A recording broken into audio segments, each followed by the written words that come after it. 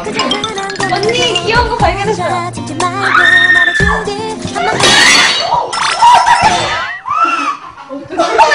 나 몰라 나. 어떡해. 죄송합니다. 저 언니한테 장난치는 거 아니야 너. 너 벌 받는 거야. 너 그래서 사는 사비로. 어떡해. 여기다 너 오늘 좀 자고 가야겠다.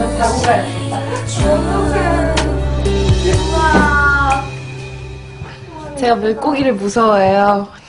물고기 그 모형 있어가지고 그거 갖고 놀리려고 집었다가 깨졌어요.